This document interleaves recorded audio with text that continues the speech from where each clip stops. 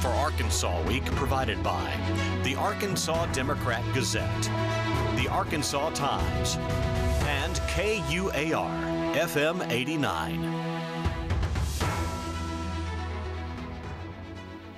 And hello again, everyone. Thanks very much for joining us. April tornadoes devastated parts of central Arkansas and all but destroyed a small East Arkansas city.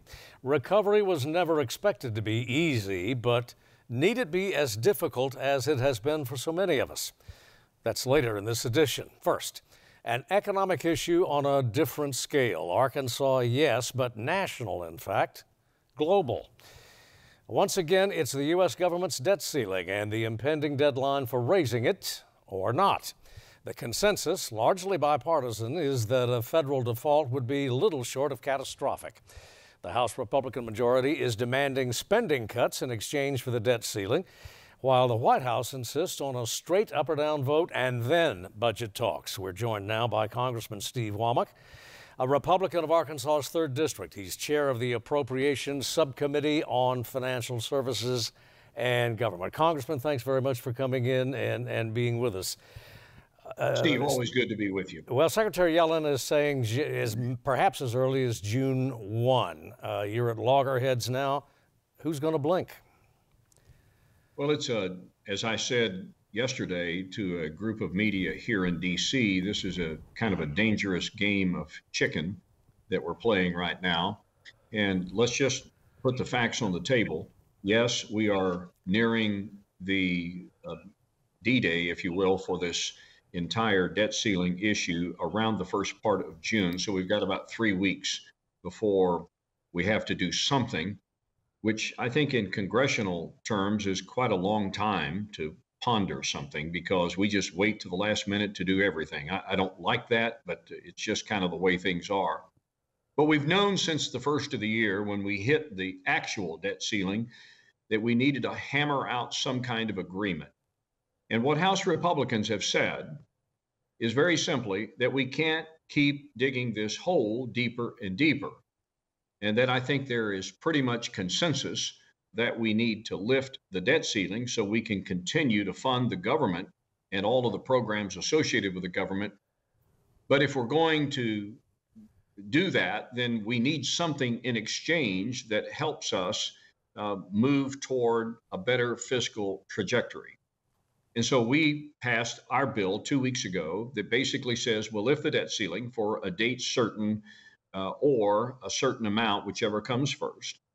But we're going to demand that in order not to be having to do this year over year over year, that we start the process of trimming the size and scope of government and then doing things that we think are smart policy matters that have had bipartisan support in the past, like work requirements for people that are able bodied without dependents that are getting government benefits, whether it's food stamps or TANF and those sorts of things. We also believe that clawing back the money that uh, was passed by the uh, former Congress on the expansion of the Internal Revenue Service uh, that, that we think that capping spending in the FY24 level back to pre, not pre pandemic, but uh, at least pre 2023 levels, that is the 22 uh, budget levels, we, we think that is in order. That's about $130 billion worth of cuts, if you will, to what we're currently spending on the discretionary side. But five months ago, we were operating at those levels. So not a lot has changed since then, maybe some inflation. So we, we just think that some common sense uh, ideas uh, advanced by House Republicans is something that the president and Senator Schumer and Senate Democrats need to take a look at well, and come to the table with us and let's talk about this before we just do a clean debt ceiling. Well, the administration says it's open to a deal and open to discussing uh, spending cuts, but that it, it's irresponsible to tie that to the debt ceiling bill. The, but be, the problem with that, Steve, is simply this: Th- those discussions never happen. So if you get a clean debt ceiling, then there's no leverage anymore. We simply believe that if we're going to raise the debt ceiling, that let's at least have some agreement in this process that we're going to do something, not just talk, because we know what talk has what has accomplished in the past. It has accomplished very little. We're 32 trillion dollars, almost 32 trillion dollars in debt. We're, we project a deficit. Well, the deficit last year was about a trillion four, and we will add more to the credit card this year. And even the even the cuts, even the the the ideas that we've advanced in our bill that lifts the debt ceiling doesn't begin I, I, mean it's a it's a good start but it's not going to fundamentally change the outcomes. We're going to be back here doing this again next year. We just want some assurance that that, that our friends on the left recognize that it's not a revenue problem facing our country right now. It's purely a spending problem. And that's why we've advanced the bill that we've advanced. Uh, correct me if I'm wrong, Congressman, but I believe in last October's debates, you indicated that you believed default ought to be on on the table. Now, correct me if I'm wrong, but I believe no, no, no, was... no, no. Go ahead then. I, I, I, I don't think defaulting should ever be on the table. And both sides need to kind of put their big boy pants on and recognize that defaulting on the full faith and credit of this country is not a good outcome. And it has global ramifications. And particularly in a day and time when we've got national security implications, I just don't think that this is a wise course of action for us to be flirting with defaulting on on on, on our full faith and credit. You but but I said, but, but I believe in my heart that this is not a, a, a case of take our bill or take a clean debt ceiling and nothing in between. This is why you negotiate. And this is why the president should have been at the table over the last hundred days or so in working with Kevin McCarthy, the House Speaker, in trying to forge some kind of agreement because I think there would be bipartisan agreement on some of the measures that we've advanced in the bill that we have offered.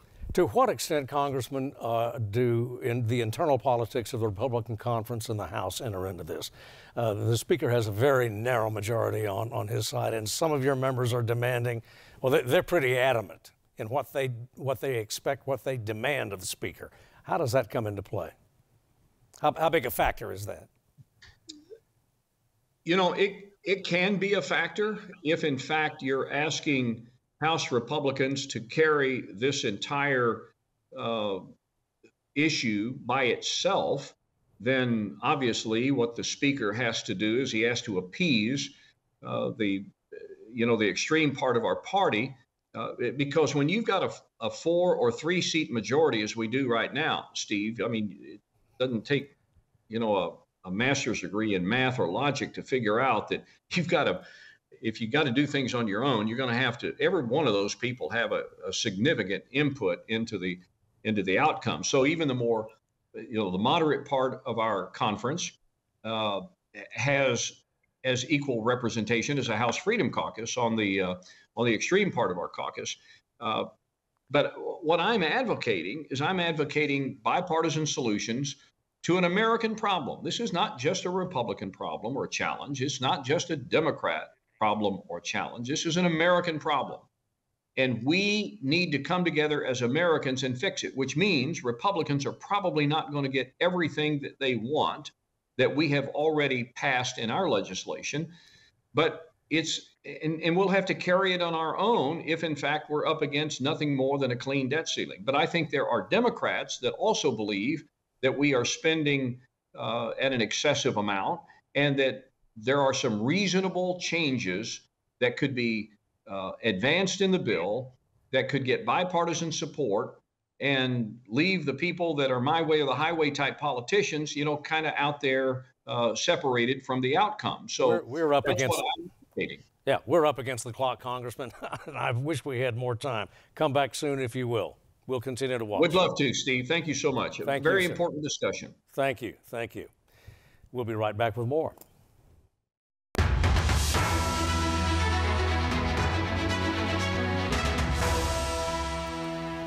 And we are back now with more on the debt ceiling issue. If it seems a bit abstract, more than a little remote, well, let's bring it home to Arkansas or try anyway. Dr. Jeremy Horpedahl joins us from the economics faculty at the University of Central Arkansas. Jeremy, as always, thanks for, for joining us. Thanks for coming back. Thanks for inviting me, Steve. Uh, catastrophic, uh, Armageddon. I mean, the words, uh, the adjectives just fly.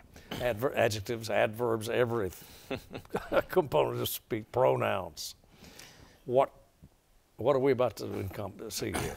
What are the stakes? Yeah, I think another word we might use is unprecedented or unknown. Uh, yes. uh, this is not something we've gone through before. People might, might remember government shutdowns over not passing a budget. Well, this is something totally different. This is the Congress has already passed a budget.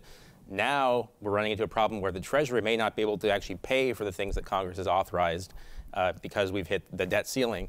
Um, and we don't know what will happen. Treasury, the Treasury Department has said they, they don't really have a way of kind of prioritizing the spending. Uh, so we don't actually know what would happen if, if we were to get to the point, uh, which could come in a few weeks, when, when they can no longer make payments. Yeah. Basically, what we've done is use a credit card, and now the debate is over whether we pay the bill. There's that. There's also, you know, you could think of it uh, about asking your credit card company for an increase in your limit. That's that's what they're asking well, yeah. for now. yeah. but yeah, so they you know, one of the things that they spend money on, of course, is servicing old debt. Uh, but it, this this covers everything that the federal government spends money on. The Treasury is the, the agency that spends the money for Congress, and so this would be this would affect not just interest payments, but but all payments the federal government makes. Yeah. How are in the event of a default, unprecedented? How are we likely to see it? I feel it, man on the street in Arkansas. Yeah. So whether it's a default or if Treasury chooses to prioritize debt spending so we don't default. Right. Uh, I think that what this would still mean is impacts for everyone on the street. We're going to see interest rates would go up, certainly for, for federal debt, which would then affect all other interest rates. And we know for buying a home, interest rates are already much higher than they've been in decades. Uh, we could see those go up. Uh, if they're not making payments to people that either work for the federal government or people that receive payments, uh, those people are going to have less money to spend. That's going to have effects on the broader economy as there's just less spending happening, which could push us closer or into a recession. Yeah, government finance, state, local government. What's what could be even even the threat of default makes makes investors nervous, makes the world markets nervous. Yeah, the threat of default makes both you know, bond and stock markets nervous. I think we're kind of in, we've been getting some recovery from what happened in the stock market last year, but that's kind of been, been a holding pattern lately uh, as we kind of wait to see what happens here. Um, and I think there's always worry about any fiscal problems, but especially when we don't know exactly how it'll play out. I think that that's really spooks markets as well. Yeah, economic development. This cannot be helpful. no, it, it is not helpful for economic development, for economic growth. Uh, you mentioned state and local governments. State yeah. and local governments depend more and more these days for a lot of their revenue coming from the federal government, whether it's for specific things like healthcare or building roads or just general support. Uh, this can filter through to all levels of government as well as to, over to the private sector. Yeah. And we have a great many Arkansans, great many Arkansans who depend not only on Medicaid, but as you mentioned, the federal highway funds, financing, Social Security, other. Yeah, Social Security is, is the biggest thing that on a monthly basis the, the Treasury Department is paying out. Uh, but the other healthcare programs, both Medicare and Medicaid, we have a large number of people in this state, a larger number than most other states on things like Medicaid, sure. um, farm subsidies, things like that.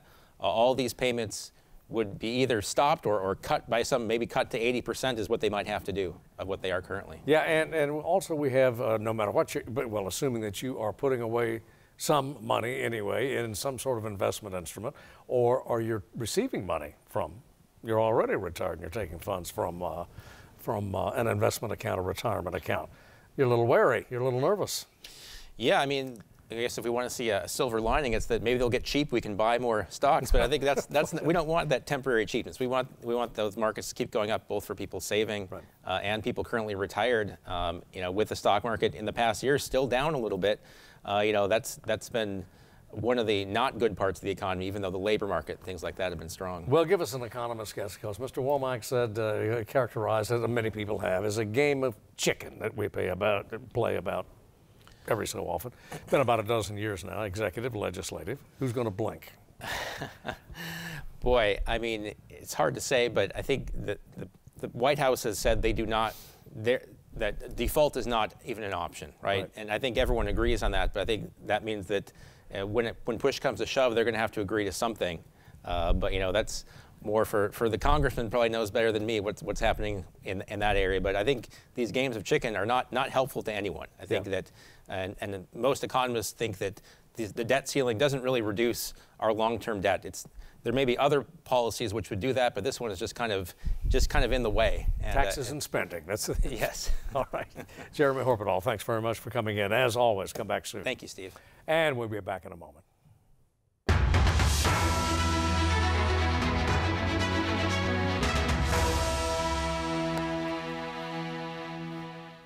Back now. There were lives lost, and no putting a dollar figure on that. And the deaths were, to be certain, the worst of it. Apart from that, still, the spring tornadoes that raked across central Arkansas and nearly erased the cross county seat of Wynne caused damage in the hundreds of millions of dollars, perhaps even more, when all the bills are totaled.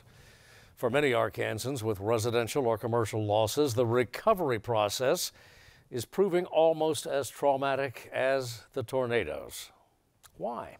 Well, we're joined now by Mayor Jennifer Hobbs of Wynne and by Kelley Erstine. He's the CEO and Executive Director of the Independent Insurance Agents of Arkansas. We thank both of you for coming in. Mayor, let me begin with you, uh, if we may. Uh, your community absolutely, well, to say that it was hard hit is understated. Uh, the situation. How is your recovery proceeding? You know, I've not ever been through it, but from what I understand, we're we're moving along as well as could be expected. Um, we are still trying. To, we're in the cleanup stage. We're trying to get everything, all the debris removed, so that people can start rebuilding their homes and uh, moving forward. This, you are encountering some snags because there always are in emergency situations such as this. What what are the uh, what are the snags that you're experiencing?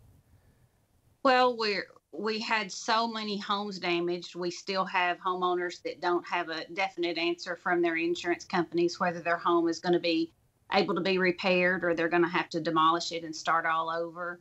Um, we are still trying to get um, those homes that we know are not going to be salvageable demolished and moved to the road. We're still waiting on FEMA to um, help us with our housing. They have agreed to take on a direct housing mission um, for Cross County um, but they have not been able to make a decision on where they're going to locate that yet. So um, it's a slow process. In, in terms of commercial property and commercial losses, in terms of the economy of Cross County and Wynne, uh, are you seeing some progress in that front in terms of recovery?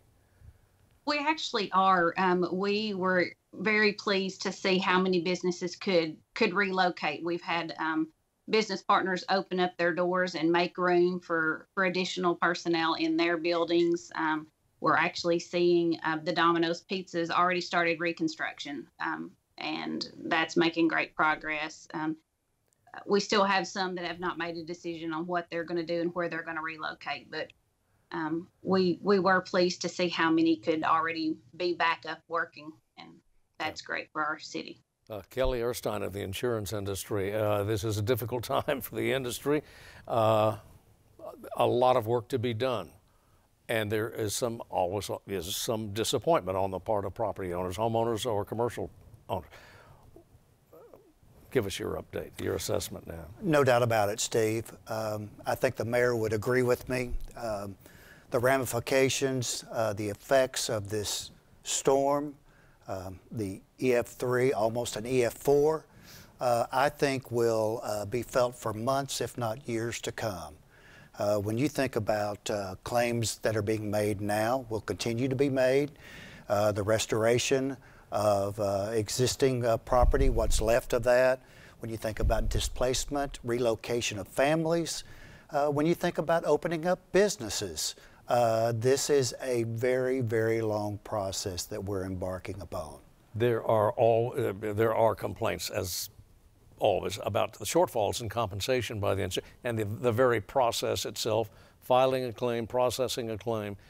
Uh, is the industry able to cope with it at this point? I think we are, but I would tell you that there are uh, deficiencies as well.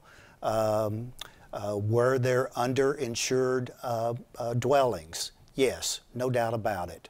Um, so many times I think that um, many homeowners don't realize maybe the possibility of their being underinsured until that claim actually happens and a, and a uh, catastrophe that occurred uh, both in uh, Cross County, Wynne, Pulaski County. Uh, the effects of that are not known until uh, the damage is done. Unfortunately, uh, a lot of folks don't understand what is included in their policy. So there is a rude awakening sometimes when, when that is um, uh, really comes to uh, to grips with that insurer. Not every homeowner's policy is a replacement policy. It is not. There are some that are actual, uh, and and we. Uh, as independent agents, I might add, uh, really uh, suggest that it be a full replacement cost to the to the policy, but not all are full replacement costs. Some, as you said, are actual cash values. There is a big, big difference there. Um, and, and then as well, uh, I mean, you don't know those limits um, uh, when you purchase your policy sometimes uh, unless you really have that conversation with your agent. And, and to me, I think today's conversation is about that clearing call, if you will, that uh, insureds need to have that conversation with their agents, and it, and it needs to go both ways. At a minimum, it's time for review no doubt about it. I mean, if, if there's a sliver of a, a silver lining here, I think it has caused people to really look back, uh, consult with their agents, be their trusted advisor to their policies, and look to see if they have adequate coverage. I mean, I live this every day. Uh, I live here in Conway, so I was not affected by the storms. But believe me, I went back and looked at my own policy, and it's it's it's it's something that needs to be done annually, if you will, with your uh, with your insurance advisor. All right, let me go back to the mayor if I can. We have had, even before the storms, Your Honor, we have had problems. Every business, every enterprise of any kind has had difficulties coping with inflation, supply chains, and labor shortages. I have to imagine that's especially acute given your situation there in Cross County and Wynne it is really of great concern to us because we have so many homes that are going to need to be replaced. Um, we are concerned about the supply chain issues. We're concerned about having enough contractors available to do the work in a timely manner, um, provided they can get the items that they need. And so um, we're not to the stage yet that we know exactly what those effects are going to look like for us, but they are definitely major concerns that we have. This is a situation that's not unusual in, in uh, uh disasters of this nature. We don't know what we don't know and won't for some weeks, possibly months. Kelley Erstine. Uh, exactly, Steve. And you know the the laws of insurance. It's it's it's spreading the risk, if you will. And not only do these occurrences, uh, not only do uh, rates uh, that uh, with catastrophes that occurred in Arkansas, uh, rates are really uh, really affected by overall in the in the U.S. and, and what happens regionally uh, with losses there. So it, it, it has kind of a, a, a uh, an effect that uh, folks really don't understand the impact until months down the road, as you just said. Inflation of the sort that we are experiencing now is, uh, I'm assuming, an especially aggregating factor in compensation. Uh, no doubt about it. But you can include that as well in your policy.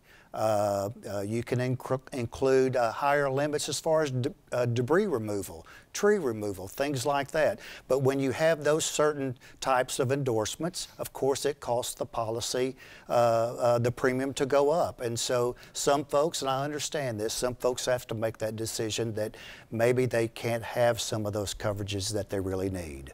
All right. Mayor where are we now? I mean, what's the next step for Wynne and Cross?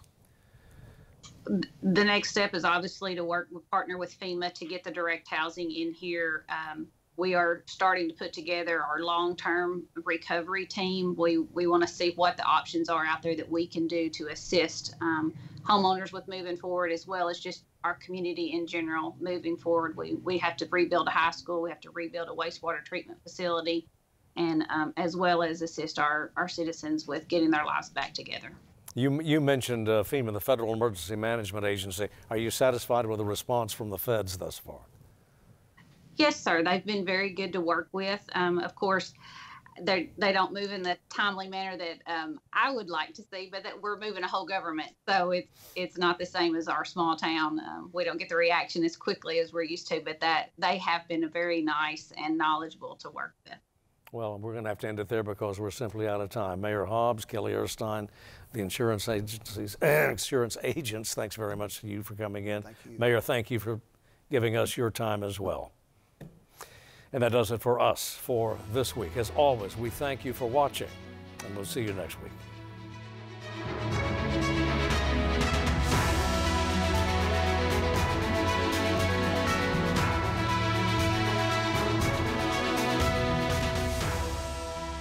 Support for Arkansas Week provided by the Arkansas Democrat Gazette, the Arkansas Times, and KUAR FM 89.